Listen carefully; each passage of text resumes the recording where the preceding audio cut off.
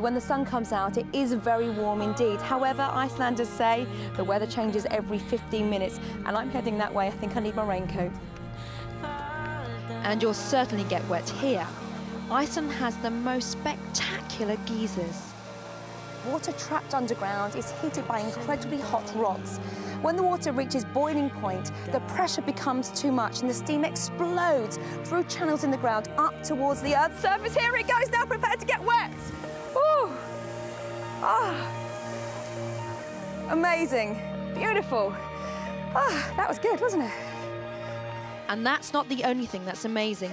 The standard of living here is amongst the highest in the world which means the locals really like to party. Even Blur's Damon Albarn owns a bar here. And this has got to be the kind of place where Bjork hangs out.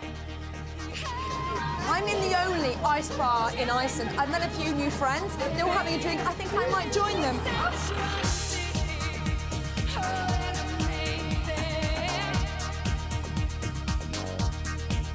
Oh, that's rather nice. Yeah, thank you, Chuck. Thank you very much. Maybe one more for the road, obviously. Oh, Clare, that looked amazing. It was. It was absolutely amazing. Amazing. Fantastic yeah, place. It's only three hours flight from here. If you do a package, it's not that expensive, Yeah. although it is a very expensive. expensive Once you're there, it's, it's dear, is it? It is really dear. I mean, we're talking a glass of wine, six, seven pounds. But if you do a package deal, it's much, much better because obviously you can eat the hotel, it's all For sure, in. for sure. But it's a sort of place where during the winter there's 23 hours of darkness per day. But I went in the summer, you can imagine. I didn't go to bed for very Of long. course, of course, it'd be beautiful and 24 light. hours, yeah, 23 hours And for you light. being, you know, being a weatherboard that loves all of that, I It's, it's sort of ice meets fire. So it's got the biggest glacier in Europe, but also uh, volcanoes which still erupt.